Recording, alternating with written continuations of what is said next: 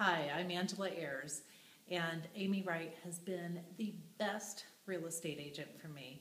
Um, she listed my home, helped me find a new home, and uh, I closed on both today, and I couldn't be more happy.